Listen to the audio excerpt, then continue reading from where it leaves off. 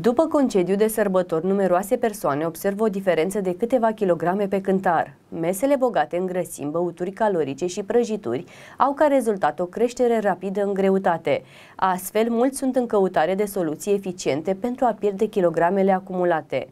Primele opțiuni la îndemână sunt dietele de slăbit, adesea restrictive, săritul peste mese sau înfometarea. Toate acestea se asociază însă cu riscuri pentru sănătate și cu o scădere temporară în greutate, care nu poate fi susținută pe termen lung. Diferite tipuri de diete de slăbit rapide și restrictive sunt foarte populare, însă acestea nu au la bază dovezi științifice, produc înfometare și sunt dezechilibrate din punct de vedere nutrițional. Multe persoane se îndreaptă către aceste soluții, deoarece la prima vedere par simple și promit rezultate rapide. Pe de altă parte, le pot avea efecte negative asupra sănătății pe termen lung. Dietele de slăbit care promit o scădere ponderală rapidă au consecințe asupra organismului. Iată riscurile acestor regimuri. Efectul yo-yo reprezintă recâștigarea rapidă a kilogramelor pierdute ca urmare a revenirii la stilul de viață obișnuit, tulburări gastrointestinale, oboseală și somnolență, dezvoltarea unei relații nesănătoase cu mâncarea, dezechilibre hormonale, deficiențe de vitamine și minerale, creșterea riscului de boli cronice, modificarea compoziției corporale. Cum poți slăbi sănătos fără să te înfometești și fără să te expui riscurilor menționate? Mănâncă variat, crește consumul de legume și fructe, alege cerealele integrale, optează pentru grăsimile sănătoase, consumă proteine de calitate, ține porțiile sub control, mănâncă conștient, hidratează-te, fă mișcare zilnic, organizează-ți mesele, încearcă să menții un orar stabil cu trei mese principale și două gustări, evită alimente alimentele procesate. Ca să poți menține o greutate optimă, nu este suficient să mănânci sănătos timp de câteva săptămâni, ci să faci din asta un stil de viață. Un aspect important este să-ți modifici treptat obiceiurile actuale, astfel încât să obții rezultate durabile. Nu schimba radical modul în care te alimentezi, ci doar optimizează-ți dieta ținând cont de preferințe.